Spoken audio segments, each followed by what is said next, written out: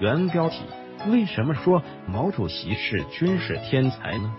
从这场战争的胜利中就可以看出来，这是一幅作战地图，就是林彪、罗荣桓、刘亚楼三位将领共同商讨出的锦州作战计划。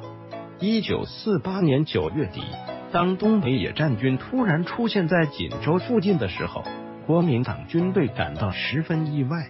国民党知道这仗一定会打起来，但是东北这么大一片土地，解放军竟然首先攻打锦州，这是他们没有想到的。蒋介石马上就清楚了解放军的策略，就是要先切断他的供给，将他的军队关在关外。大军当前，蒋介石将如何应对？九月二十四日，蒋介石召见大将卫立煌，要他出兵支援锦州。二十六日，蒋介石又派参谋长顾祝同飞往沈阳，要求沈阳出兵。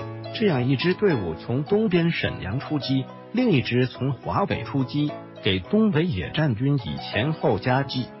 但是卫立煌经过分析，认为林彪作战。一定是围城打援，如果出城迎战，就会中对方的埋伏，跟对方的主力遇上，这样损失严重，失去主动性，所以不能轻易动兵。这可正中了毛主席的下怀。我们说毛主席是军事天才，他天才就天才在这里。如果当初采用了林彪的计划，岂不是让国民党军队一眼就识破？而东北野战军用的是毛主席的计划，这让国民党军琢磨不定。这一犹豫，三天已经过去了。林彪没有浪费时间，在这三天里，他带领东北野战军打下了锦州周边的塔山和兴城，破坏了锦州机场，包围了锦州北边的易县。至此，锦州与外界的地面联系已经彻底切断。